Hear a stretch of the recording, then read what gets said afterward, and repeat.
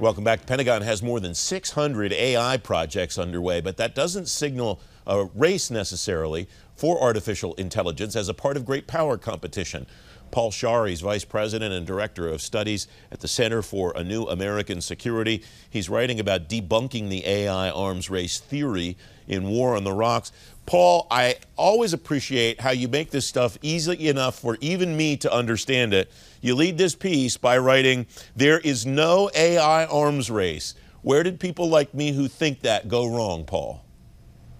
Um, yeah, well, thank you. Thanks for having me. Um, it is, I wanted to put it out there because I do think that that's a, a popular conception. Um, we see militaries in the United States, in China, in Russia investing in AI, and oftentimes people leap to this frame of it's an arms race. Uh, it's a bit pedantic, um, maybe a bit academic, but when we think about arms race, uh, generally scholars define that as a place where there is runaway defense spending between uh, countries that's beyond normal levels. So, examples being the Anglo German arms race in the early 20th century, the Cold War nuclear arms race.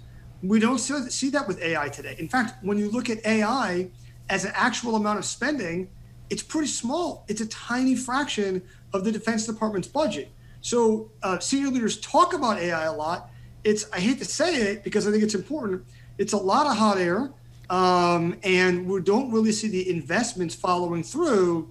So, is it an important area? Do we need to do more? Absolutely. Um, but we shouldn't get caught up in some of the, the hype and rhetoric about what's going on. What I like also about this piece, Paul, is that there's tremendous context here.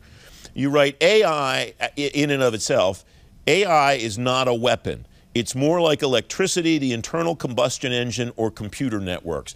What does that mean for the way that people in the Defense Department in particular, but the federal government more broadly, uh, for, what does that mean for how they should think about it? And what does it also mean for the way that Congress should think about it from an appropriations and authorization perspective, Paul? Right. So the frame of a general purpose technology means it's really an enabler for a wide variety of things. Um, I think computers are, are a great example here, as are electricity, for example. So, how do we find ways to import that and adopt it really quickly? And I think what matters most here is AI is in some ways like the opposite of stealth technology. It's not being made in a secret defense lab. It's not technology that we can control and limit others' access to. It's already the playing field globally is is really level, much more level than we would like. Um, so we would like a world where we have a lead on the basic technology, and that's not very realistic today. In fact, when you look at top tier AI companies, yes, there are a number of U.S. companies in the mix. Uh, Google, Microsoft, Amazon, uh, all top AI companies, but also in that mix are Chinese firms, Baidu, Alibaba, Tencent, SenseTime, iFlyTek, all global AI leaders and so our adversaries, our competitors, they're going to have access to the technology too. If we're going to stay ahead in this military competition, it's going to be an implementation. It's going to be in finding ways to take this technology and use it. I'll make a comparison here uh, to the Industrial Revolution. A lot of people have compared AI to another Industrial Revolution. When we look at technologies that came out of the Industrial Revolution, having a slight edge uh, in the actual basic technology isn't what mattered. You look at what the Germans were able to do with the, the Blitzkrieg. They didn't have you know unique capability with the internal combustion engine. Everyone else had access to the same technology. They found ways to put it together to battlefield effects that were uh, more significant and transformative. And that's when we need to focus our attention on AI.